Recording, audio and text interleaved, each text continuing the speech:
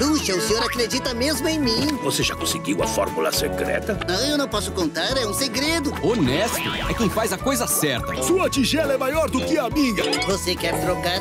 Quero! Mesmo quando não tem ninguém olhando. Ah! Eu já tava esquecendo. Uma cereja em cima. Por um mundo mais correto, por um mundo mais honesto, por um mundo mais pobre.